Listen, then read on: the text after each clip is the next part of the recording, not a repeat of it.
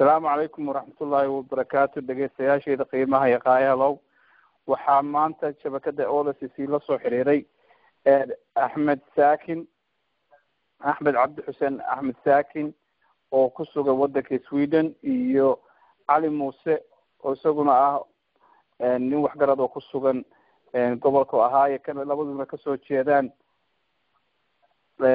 gobolka sool ayaan intii dhawoodu ay ka dhaqaysay ka dhacaysay shaqaaqada udhexaysa beelaha walaalaha halkaas degan labadan mudane oo maanta halkan ka hadli doono waxay ka bixin doonaan taageero ay ku taageerayaan baaqiyadii ka soo baxay.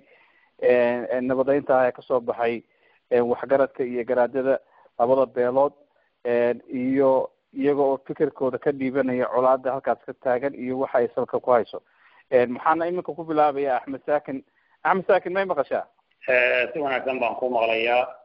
Waana ku salaamayaa asalaamu calaykum waraxmatullahi wabarakaatuhu. Adiga iyo dhegaystayaashaba waa ku salaamayaa insha allahu tacaala waxaan ku bilaabayaa taageero. Aan taageersanahay baaqii ka soo yeedhay garaadka guud ee gobollada s f c ama garaadka guud ee dhulbahante garaad jaamac garaad cali iyo garaad cali buraale oo isaguna baaq ka soo saaray magaalada lasaanood labada garaad iyo dadkii kale ee waxgaradka ahaa ee ku raacsanaaba waxaan ku taageerayaa baaqii nabadeed ee ay beelaha walaalaha u soo jeediyeen aniga oo ka codsanaya weliba in la qaato baaqa iyo ereyadii qiimaha lahaa ee ay soo jeediyeen isimadu. Kelmadda labaad waxaan leeyahay erga fara badan oo iska soo xilqaantay daafaha gobollada s f c ama deegaanka dhulbahante oo isimo iyo cuqaal iyo waxgarad kalaba ka kooban oo iyaguna garaadka iyo kala jaamacna u tegay degaankana soo gaadhay wax ka dhaceen beelaha walaalaha ee khayr cabdi iyo maxamed garaad ama bahar same. Ergadaa dhulbahante waxaan farayaa hal kelmada baan odhan lahaa inay ka faa'iidaystaan ergadaasi waa ergadii degaanka u dhalatay. Waa dadkii isimada u ahaa. Waa dadkii cuqaasha u ahaa. Waa dadkii aajada ka codsanaya inay iyaguna hawshooda ku adkaystaan oo aan loo gacan dhaafin. Cidna aanay ka ogolaanin inay u gacan dhaafto. Dadyawga gacmo gacmaynaya sida maamulka hargeysa oo kale oo isticmaalaya beelaha dhulbahante qaar ka mid a diriirta iyagaa horiyey iyagaan ku eedaynayna. Iyagaa rasaasa isugu dhiibay. Iyagaa eedgii hore lahaa. Iyagaa dharkayn ciidan ka amar qaata dhigay oo beesha khayr cabdi ay ka quusteen ciidankaa inay qaadaan. Dhulbaantana ka quustay oo markhaati madoon ahayd. Cidda xabadda riday. Ee laysay ergadii saddexda boqol iyo afartanka halaad bixinaysay. Ee laysay kuwa soo cadho gabdho laga qabo oo kuwa laynaya ay walaalahood qabaan u soo cadho celiyey oo magaalada iyagoo ka gunti furan oo guryahoodii nabad u fadhiya xabad lala dhacay. Cidda ka dambaysay shirqoolka intaa la eg maamulka hargeysa weeye waxaa hotel xamdi jooga oo laascaanood ku yaalla erga salaadiin iyo odayaal oo hargeysa ka timi. Oo le waxbaanu nabadaynaynaa. Iyaga waxaan baaq ugu jeedinayaa waddad islaamaa tihiin bil rabadaan baad ku jirtaan maamulkiinu shirqool buu ka wadaa koonfurta gobolka sool haddaad waxna taraysaan annagu isimo iyo odayaal nagu filan oona nabadeeya waa haysanaaye war ciidankiina naga qabsada aada dhasheen ee wiilashiina niman culimaa baa ku jira oo tafsiir jiray. Waxaan idin xusuusinayaa aayaddii qur'aanka ahayd walaa tarkanuu ila aladiina dalamuu fatamasakum annaar wamaa lakum min naasiriin war haddaad dulmi taageertaan aakhiraad ku dhib mudanaysaan. Waxaa lagu toojar garaynayaa oo lagu khasbayaa labada beelood ee walaalaha ah inay xaajada gacanta u geliyaan maamulka hargeysa iyo odayaashiisa. Iyadoo maamulkii meesha odayaashii meesha u dhashay joogaan oo ay ku filan yihiin xaajadooda ayaa laga faramaroojinaya haddaad waxna taraysaan isimada hargeysa ka yimiyow maamulkiinu dulmiga uu meesha ka wado qabta kaasaa hiil noo ahayd waxaan leeyahay cuqaashii baa la xidhxidhay. Hawsha iska lahayd ee wax ka qaban lahayd burcay ku xidhan yihiin. Markii odayaasha iyo isimada dhulbahante garaad jaamac u tageen ee beelaha dhex mareenna markay nabadayntii bilaabeen shirqool baa la dhigay ka dhacay magaalada laascaanood kaas wuxuu ahaa axmed saakin oo jooga waddanka sweden. Iminkana waxaa isna khadka inoogu jira saan hore idinku sheegay cali muuse oo isna ah waxkada ka soo jeeda deegaanada shaqaaqadu ka dhacday gobolka sool oo isaguna halkan baaq taageeraha ka dira iyo wixii uu raacsanayo. Cali muuse waad maqlaysaa soo maa si wanaagsan baan ku maqlayaa. Asalaamu alaykum asalaamu calaykum waraxmat ullahi wabarakaatu waan salaamayaa bahda olsa c waxaan marka u horeysa aan tacsi tiiraanyare u dirayaa garaad abshir saalax maxamed naxariistii jannaalaha karu oraabiyo. Waxaan uga tacsiyeynayaa gerida naxdinta tale ee ku timi.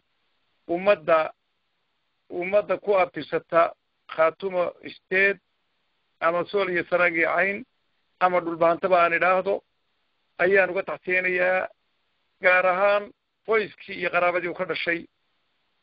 Samir iyo iimaan allaha ka siiyo allahna ka wada siiyo isla naxariis janna allah ka waraabiyo. Markaan ka gudbo waxaan taageerayaa sida uu abwaankii iga horreeyeyba uu sheegay baaqii ka soo baxay labada garaad.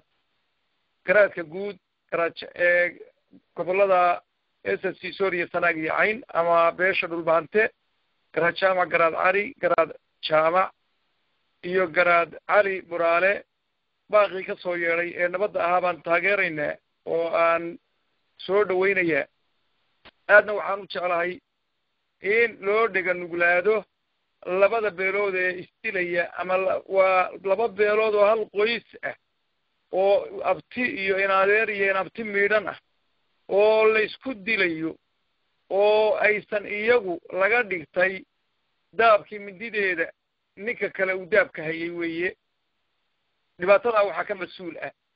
Reerkii soomaaliyaba iyadoo qaran ah fitinka xaraha ku noqday ee fitinka u qaaday ee xasuuqa baahsan ka geystay gobollada waqooyi gobollada waqooyi ummaddii kula noolayd markay qabsadeen oo ciidamadii iyo dawladdii soomaaliya ay halkaa ka baxday. Xasuuqa ay ka geysteen waa kaa lafihiisa ay marna banaanka soo dhigayaan marna ciidda ku rogayaan. Nin nina walaalkii iyo aabihii marna banaanka ma keeneen maydkiisa iyo lafihiisa. Kuma rideen waa ummaddii soomaaliyad halka ay ku xasuuqeen oo ku gumaadeen. Gumaadkaasi ilaa reerkaasi maalintuu meeshaa qabsaday ama maamulka horjoogayaasha a samaystay ee magacowday xasuuqa soomaaliyuu ku jiray. Wuu soo duulay gobolladaa sooriya sanagii cayn buu ku soo duulay. Waxaana duulaankaasi waa duulaan isinkii iyo kii maamulka horjoogaha u ahaa iyo kii wadaadka ahaa iyo kii xildhibaanka ahaa lagu tashaday qadiyad fog oo ummadda gobolladaa degta in la gumaado la xasuuqo dalkeeda iyo deegaankeedana la wareego. Maanta waxaa laygaga faa'iiday shalay dagaalkii ka dhacay qorile iyagaa ka dambeeyey ee labada beelood walaahii ay isku direen. Kan maanta iyagaa ka dambeeya dab aysan shidini meesha lagama shidin. Kan maanta waxa weeye kuwa rasaasta isugu dhiibaya wayaga. Waxayna ka faa'iidaysteen oo aan leenahay faal aytameef lagama dhowro. Beesha cabdi garaad waa beel ay wada dhasheen. Beesha maxamed garaad oo isla dhasheen oo isdhaleen oo isku qoysa waxaa laga faa'iidaystay iyaga.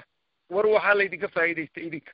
Beesha cabdi garaadow nabad baa laydinku ninkii fitinku ka bilowday ninkii waqdariye ku laayay oo ahaa dadka xasuuqa badan ummadda u geystay shaarka tuutaha somaliland ama isaaq uu u geliyey weeye ninkaasi ninka boqol iyo afartan halaad oo aan weligii laga xukumin waddanka aanan ka maqal nin baa magtiisa laga xukumay. Baanu laga soo qaaday baharsame waa u gurguuratay nabadda. Xaqiiqda weeye markaan sidaa leedahay nabad baan doonayaa xumaan dooni maayo. Waa loo gurguurtay boqol iyo labaatan halaad baa boqol iyo afartan halaad baa laga bixiyey. Waa catal dariiq buu ahaa. Kii dadka laayay buu ahaa. Kii halkaa u fadhiistay buu ahaa in dadka la isku dilo. Nabadda baharsame idinaba ilaahayna wuu ogyahay baharasamena way og tahay ummadda soomaaliyeedna way ogtahay. Dhulbaantoo dhanna wuu ogyahay inay baharasame markaa nabad gurgurasho ahayd.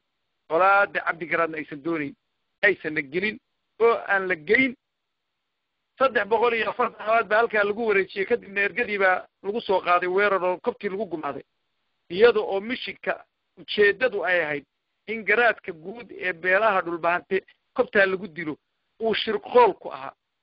Kiibaa maantana markuu dhicisoobay la wadaadoo kobtii laga wadaa. Qayaad isma dilayno. Qayaad isma dilayne meesha fitinka ku jira xasuuqana wada inta dhimatay dhaawacana mas'uul ka ah waa beeshaa isaaq ciidankeeda iyo iyada iyo tariskeeda taa halkaasaan leenahay waxaan leenahay ninka madaxa soo duubtay maanta ee isinka ah ee soo diray ciidanka wax gumaadaya ee wax xasuuqaya ee laascaanood xaaraanta ku haysta ii garsoori maayo maanta. Waxaa garsoorka iskale labada beelood dhulbahantaa leh hadday ka taf dheeraatana daarood ismaaciil baa leh. Iima garsoorayo ninkii ciidanka soo diray ee taladeeda lahaa ee dhibaatada iyo xasuuqeeda ka teliyey ee lahaa war iima garsoorayo maanta intuu ii fadhiistay laascaanood dhex fadhiistay insha allahna ma dhex fadhiyi doontid baan aaminsanahay garsoor adeer kaa sugi maayo ninkii ku dilay. Ii garsoor ninka maanta yidhaahda ee ka dhegaystaay anima guna jirin. Garaadna lahayn beesha baarasona waxaad leedahay. Nabadda sidaad ugu gurguuran jirteen ugu gurguurto war beesha tan aad laysku kiindilayo war waa beeshii aad wada dhalateen ay dhasheen. Kalena tegi maysaan qolana lama gumaadi karo. Oo dalka lagama safayn karo. Waad surantihiin intii dhimatay dhimatay inta nool ha loo taliyo. Meesha siraayo uu horjoogaha u yahay adeer waxa weeye waa beel caqliga xaqii ka indhala oo caqligii ka indhala oo ka dhigala weeye waa xaqa bay ka indhaladahay xaqa bay ka indhaladahay oo ka dhegalaadahay oo ka caqli laadahay haddii ay jiraan wax xaqa u indha iyo dhiga iyo caqli qabaayay war waxanay ku kacayeen kuma kaceen. Maanta ma yidhahdeen intay dadkoodii intay dadkii xasuuqaan ma yidhaahdeen waa ku garsooraya. Kal shaalatii ka dhacday afar boqoloo qof baa lagu dilay oo lagu dhaawac iyo dhimashada ahayd. Taleex bay isu ahayd. Laascaanood bay ahayd. Labaatan nin oo kootarbaanaystaa oo ku xadgudbay kililka shanaad oo iyana wax dilay iyagiina la dilay. Sahadeena dad maata ah bay cir iyo dhul uga qaylinayeen beesha oo ay xildhibaankoodii iyo kii madaxweyne ahaa iyo kii maamul ahaa iyo kii isin ahaa aan loo kala hadhin dhul gariir ay ku samaynayeen dibad iyo gudo. War maxay u arki waayeen xasuuqan baasan ee afar iyo labaatanka saac xinjirta ay gacmaha kula jiraan. War nin nin nin af ku dhiiglah oo adib ku dhiiglah oo uur ku dhiiglah oo ummaddii soomaaliyeed xasuuqeeda ku qaangaaday oo sida haddii ay bayd maayo afar iyo labaatanka saac kula jira dhiig gacmaha kula jira xinjir kula jira. War siduu igu garsooraa maanta koonfurta soomaaliya waxay u degi weyday waa wiilashoodii iyo fakerkooday ka degi weyday waxay ka degi weyday ee soomaaliya caga u dhigi weyday dawladdooda waa iyaga. Waxaanu leenahay ciidamadooda meeshaa ku jira in si deg dega ay ugala baxaan baanu ugu baaqaynaa iyaga haddii ay doonayaan in arlada nabadi ka dhacdo. Si deg dega ha ugala baxeen ciidamadooda meesha. Iyagaa xasuuqa wada iyagaa dhibaatada wada iyagaa haddii bayd maayo xadhigga iyo cagajuglayta iyo cabuurintaba ku jira. Waxaan leedahay halka nin xildhibaana oo bishii lixaad toddoba iyo labaatankeedii two thousand sixteenka ka hadlayey oo lahaa waanu ku jahaadaynaa labaatankii dadkii halkaa lagu dilay war labaatan qof bay ahaayeene intaasoo kun oo qof baad qaarajisay war miyaadan xaqa ka dhegalayn wuxuu yidhi ma malaayigan daalin baa qoraysa duwaanka ma xaqaa la duusiyaya la daahir noqon doona. Ma dembiilayaashoo dhan baa daayin la hor keeni ma shaydaanka idin duufsaday. Baa idinku diiqdiiqan. Waar hadhow tiilaanyaha idin di maanta idin isticmaalayaaye waar aakhiro nina ka saari maayo. Shacab wanaagsan baa gobolladaa dega. Laakiinse waa shacab ayaan daran oo ka ayaan daran maamulka xaggiisa. Waxaan leedahay ummadda dhulbaante ee taladan iska leh garsoorkan iska leh. War hoy waxaa la yidhi saddex baa ilaahay u dacwooday. Dumarka iyo doofaarka iyo ugaadha u dacwooday baa la ilaahay. Waxaan ku soo gabagabaynayaa ku soo hogaaminaya taa war doofaarka ilaahay u dacwooda wuxuu yih ilaahdow intii aad abuuratay baan ugu faalxumahay jannadaad haddana cadaabtii aad ii hoos marisay. Garsoor garsoor eexday garsoor eexday baan kaa hoos mariyey buu yidhi mar cadaalad xumadii ka dhacday hore u dhacday isan dib u dhici talada aad leedihiinna nin kale yuusan mas'uul ka noqon. Idinkaa talada leh. Hadday dhulbaantay ka tafdheeraato daarood baana ismaaciil. Ninkii ciidanka soo diray adeer garsoor ima geli karo intuu madaxa isoo duubto taana halkaasaan leeyahay. Tan labaadee kalena waxaan leenahay war dhulbahantow inta gacmaynaysa labadan beelood ay istilaysa. Hadduu nin yahay hadduu gruub yahay hadduu jilib yahay dhulbahantaa nin walba wuxuu ka geystay waanu ognahay waana qoran tahay nin walba wuxuu ka geystay waanu qoranna way qoran tahay mar baana lagu xisaabtamaya. Taariikhduna waa sire maxay sayme kugu reebi buu yidhi. Reero badan ama shaksiyaad badan bay sayme ku reebi doontaa. Kii hubka bixinaya iyo ka rasaasta bixinaya iyo ka gaadiidka bixinaya iyo ka hawlaha ku jira intaba waanu ognahay labada reer midna dani uguma jirto. Khayaad iyo bahara samay mar labaad waxaan idin leedahay nabadda adeer dhulka dhiga. Colaada dhulka dhigoo nabadda qaata. Colaada dhulka dhigoo nabadda qaata. Cabdi garaadow war nim aan kuu furi doonin yuusan kuu rarin wuu kuu raray midaan kuu furi doonine war yuusan kuu rarin war tuutaan khaya tuutaan ku jiri mayno isaaq ku jiri mayno. Dhulbahantaad tihiin waad isdhasheen waad kalama maaranto mataaca baad tihiin deegaan baad tihiin nabadda qaata. Baara samayna waxaan leedahay garaadka guud garajaamacow garaadka guud ee dhulbahantaad tahay. Khayr allaha ku siiya sida aad nabadda ugu baaqday baanu kuugu hambalyeynaynaa khayr cabdi baad ka mas'uul tahay garaadkoodii guud tahay baara samana waad u tahay dhulbahantoo dhan baad u tahay soomaaliya aad u tahay. Nabadda ha la qaato xabadda ha la dhigo caqligu ha shaqeeya asalaamu calaykum waraxmat ullahi wabarakaatu